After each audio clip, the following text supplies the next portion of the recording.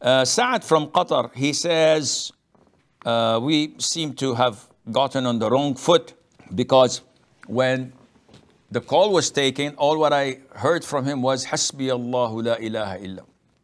And in Arabia, we have this wrong concept that if I'm disputing with someone or someone oppressed me, I say, Hasbi Allah alayk wa ni'mal wakil, as a threat. Not knowing that this is not a threat. Hasbi Allah means Allah will suffice me. And when I'm ni'mal wakil, He's the one I trust and depend upon. So this is not a dua against you. This is declaring that I am trusting Allah Azza wa But people take it negatively. So this is why I was uh, uh, joking around when I said to him, what have I done to you? So his question is the dua, saying it seven times, Hasbi Allah la ilaha illahu alayhi tawakkaltu, etc. This is backed by a hadith.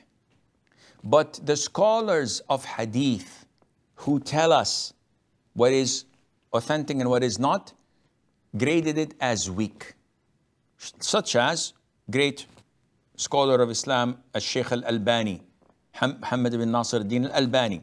He graded it as weak, so we tell people that this is weak. And he's the doctor of the sciences of hadith that we follow.